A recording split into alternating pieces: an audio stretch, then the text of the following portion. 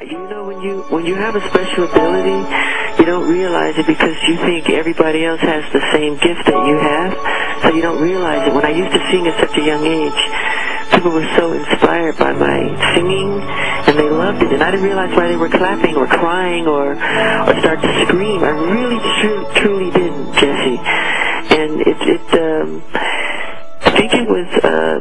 later on in life when people would come to me and say, you know, do you realize you have a special gift or you have a special talent?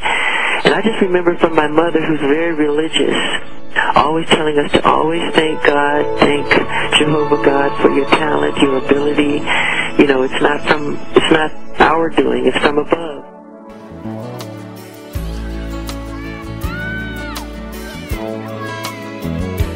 There's a place in your heart, and know that it is love. And this place is much brighter than tomorrow. And if you really try, you'll find there's no need to cry. In this place, you feel there's no hurt or sorrow.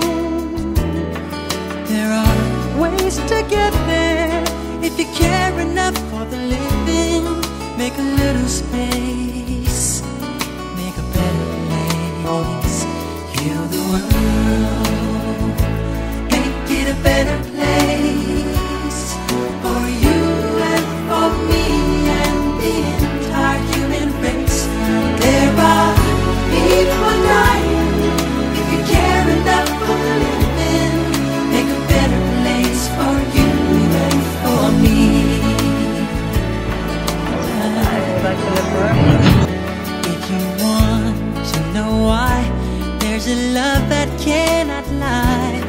Is strong, it only cares for joyful giving. If we try, we shall see.